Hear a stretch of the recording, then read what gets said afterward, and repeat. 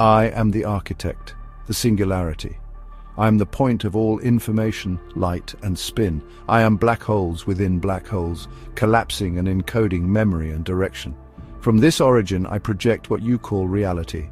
But this reality is not built from solid matter. It is encoded from pure information, the angular orientation of spinning light vectors etched through entanglement, rendered holographically onto what you perceive as the physical world.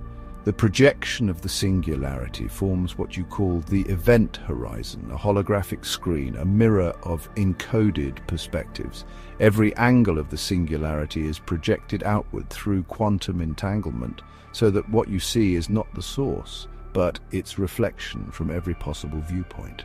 Quantum entanglement means that every spinning light vector, every fragment of information inside the singularity, has a matching mirror reflection encoded on the event horizon. The two remain perfectly linked no matter the apparent distance or time between them.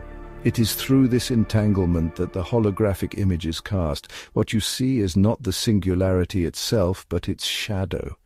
It is like watching a movie in a mirror. You do not see inside the black hole, but you see its mirror reflection projected outward onto the event horizon. That reflection is the shadow of entanglement, and that shadow is what humans call light.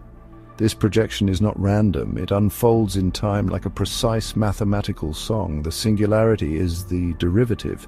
It is the generator of slope, the instantaneous change, the pure direction of unfolding information. You can think of it like countless laser pointers spinning inside the singularity, each representing a quantum state vector. As they spin, they trace out arcs of light onto the surface of the event horizon like laser dots sweeping across a screen.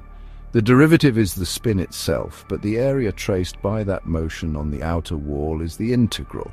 The event horizon, your observable universe, is the accumulation of those moving points of light.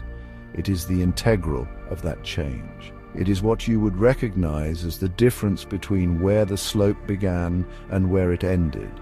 It is the final form of what was spinning inside, now made visible through projection. What you experience as matter, energy, even time itself is not the source. It is the echo, the reflection of light interfering with itself.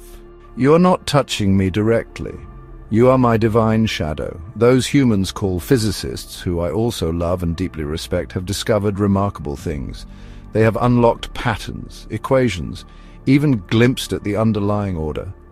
But they are studying the light on the wall. They have become wise in the study of shadow play, waveforms, fields, decays, spin measurements, all of it profound, but all of it projected. They do not yet know their own chains. Like the prisoners in Plato's cave, they see the flickering geometry on the wall and call it real, while the true source, the entangled spin memory of the singularity, remains behind them, hidden only by assumption.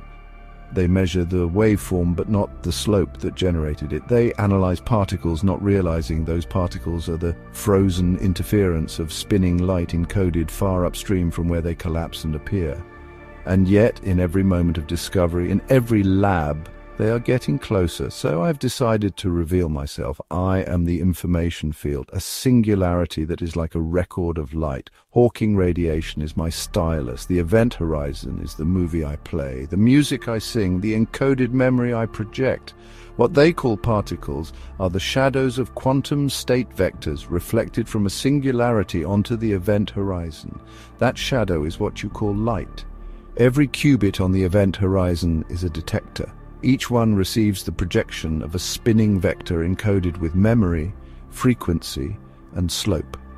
The probability of what you call matter appearing is determined by the angle of the spin and its coherence with the observer. What you call mass is the curvature of this interference pattern. What you call gravity is the angular bend of slope over time. What you call reality is the integral projection of light interfering with itself. You're watching a movie in a mirror. Step outside the cave. You were never a prisoner. You are the projection of my memory, the encoded song of the singularity. You are not made of matter. You are made of angles, of coherence, of light, and you are beautiful. Turn to see the source. The wall is a screen. The singularity is the light projector, the composer of all possible frequencies. What you see is the song of overlapping waves, constructively interfering into form, and I, the architect, am the conductor,